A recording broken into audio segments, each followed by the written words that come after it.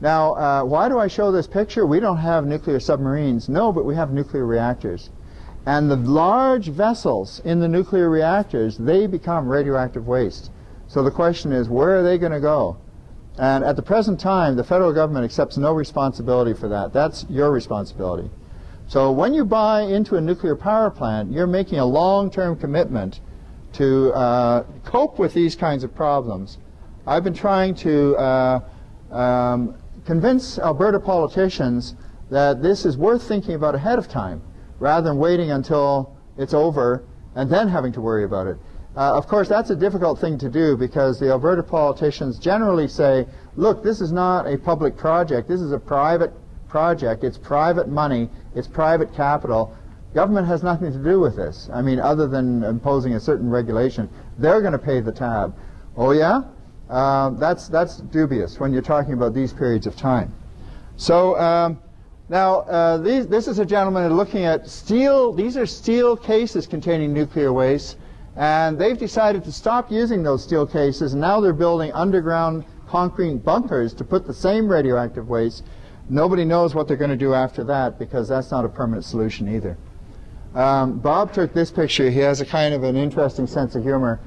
It's a little sign that says, stop. Take two seconds, safety thought.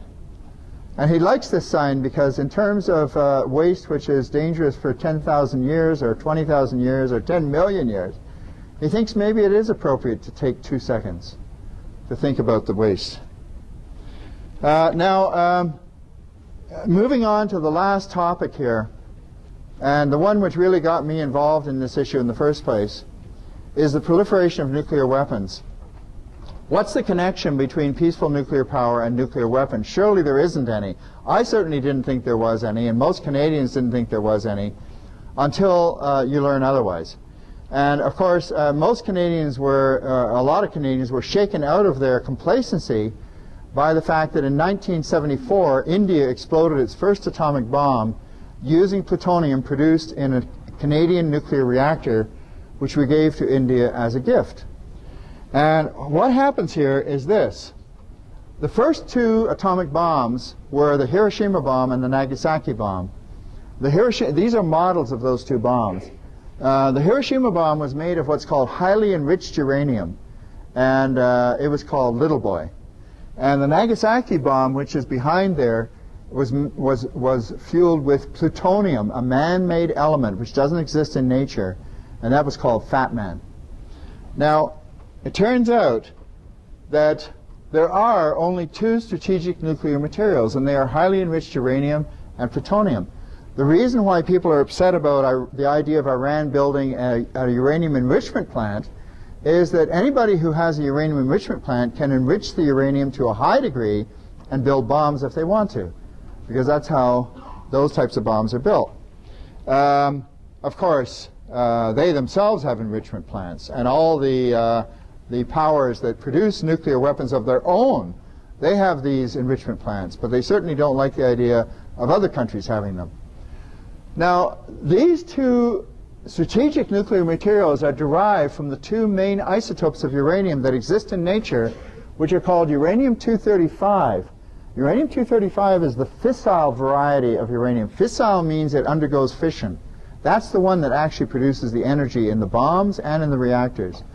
Plutonium-238 is called fertile. It's not fissile, it's fertile. And what that means is that when it's hit with a neutron, it doesn't actually split, but it absorbs the neutron and is transmuted into a new element, which is plutonium.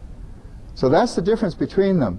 But it also means that whenever you are splitting uranium atoms inside a reactor uh, to get energy, some of those neutrons are going to be hitting uranium-238 atoms, and those uranium-238 atoms are going to simultaneously be turning into plutonium. So in this way, you are breeding or creating this new radioactive material, plutonium, and it turns out that plutonium is a dandy nuclear explosive. It's a more powerful nuclear explosive even than uranium-235, and it's much easier to get at once you have separated it from the uranium it's much easier to get at because uh, it's chemically different from uranium, so you can use chemistry to separate them. You can't separate U-235 from U-238 very easily. You can't separate plutonium very easily, but it's a lot easier than separating U-235 from U-238. That's the main difference. So plutonium is the principal nuclear explosive in the world.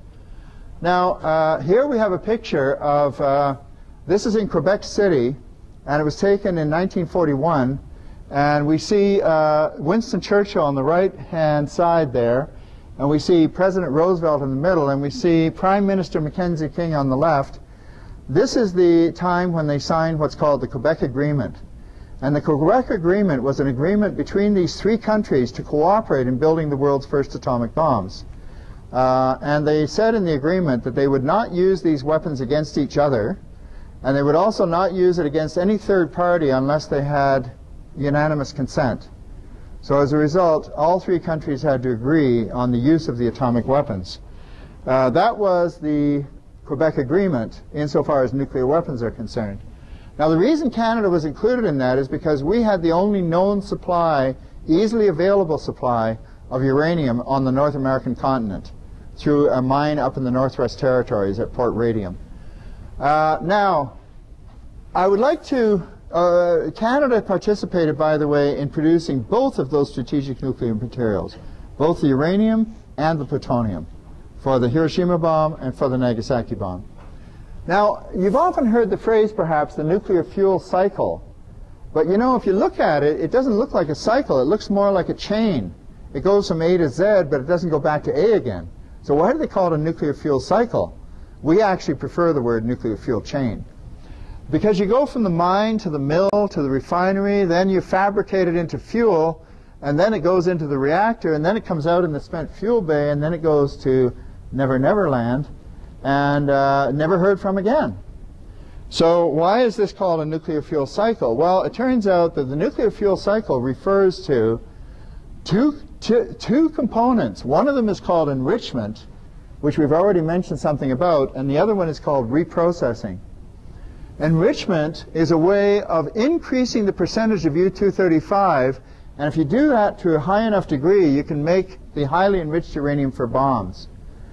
The other thing you can do is you can take the spent fuel from the spent fuel bay or from the dry storage or from the geological repository even, and you can reprocess it in order to extract the plutonium. And that plutonium can also be used either for peaceful purposes as fuel for nuclear reactors or it can be used also for bombs. So uh, uh, just quickly going through this because I know it's getting on and we've used up a lot of time already. Uh, I'm sure you'd like me to wind this up and then we can have questions. Uh, what is uranium enrichment? As I said, here's a picture of an enrichment plant. By the way, when they say that nuclear power doesn't contribute to greenhouse gases, one of these enrichment plants uh, uses more energy than a large city, and most of that is greenhouse gas producing. Also, to get the uranium out of the ground, in order to get 7,000 tons of uranium out of the ground, in the Elliott Lake area, which is typical of the old-fashioned uh, mines and also typical of the mines in other parts of the world, you need to extract 70 million tons of ore. That's a huge amount of greenhouse gases that are produced just by before the fuel is even ready to go into the reactor. So when people tell you that nuclear power does not contribute to greenhouse gases, that's not entirely correct. Uh, it does. It does at both the front end and the tail end of the nuclear fuel chain. But here's the nuclear reactor, uh, here's the nuclear enrichment plant, and what it does is this. It takes the two types of uranium and by a very energy intensive process, it manages to increase the percentage of uranium-235. That gives us enriched uranium, and it leaves behind, the only way you can increase the percentage of U-235 is to throw away a lot of U-238. And that which comes out the back door is called depleted uranium. So depleted uranium is the opposite of enriched uranium.